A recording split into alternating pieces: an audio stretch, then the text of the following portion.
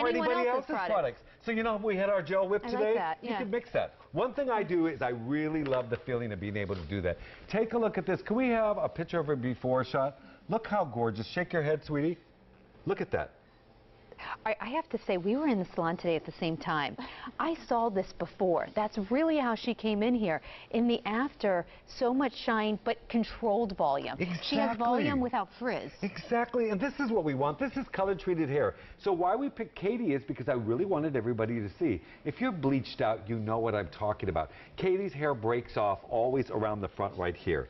But now she can use this product and not have to worry because the brush isn't going to get caught.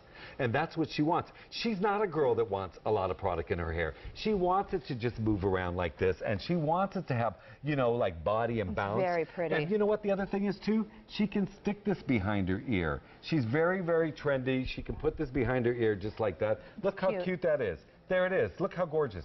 So, Nick, we're seeing Katie, but this is really good for all women, All women. ages.